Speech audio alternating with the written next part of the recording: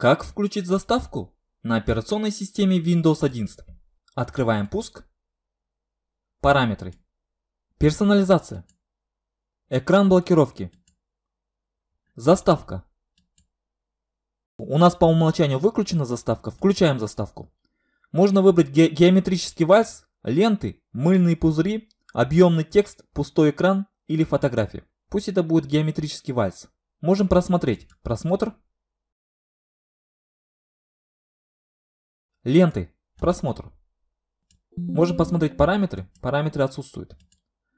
Мыльные пузыри. Параметры. Также отсутствуют параметры. Просмотр. Объемный текст. Параметры. Здесь вы можете ввести свой текст, можете поставить время, можете выбрать шрифт, увеличенный. Разрешение можете поставить, крупный текст или, не, или мелкий текст. Кручение, качели, волны, перевороты и так далее. Пустой экран, просто пустой экран, черный экран. Фотографии. Вы можете добавить свои фотографии. В папке библиотека изображений нет изображений и видеофильмов. Давайте перейдем в параметры. В папку изображений нужно добавить картинки. Обзор. Давайте укажем другую папку.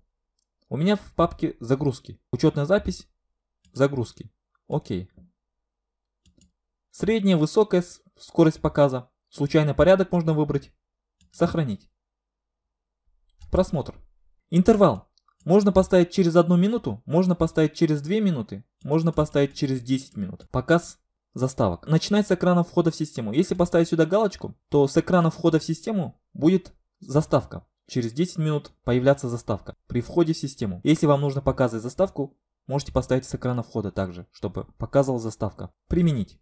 Если вы хотите, чтобы ваш экран не отключался при заставке, выберите время ожидания для экрана, перейдите экран и спящий режим, и при отключении экрана мой через... У вас может стоять через 15 минут или через 5 минут, выставьте никогда.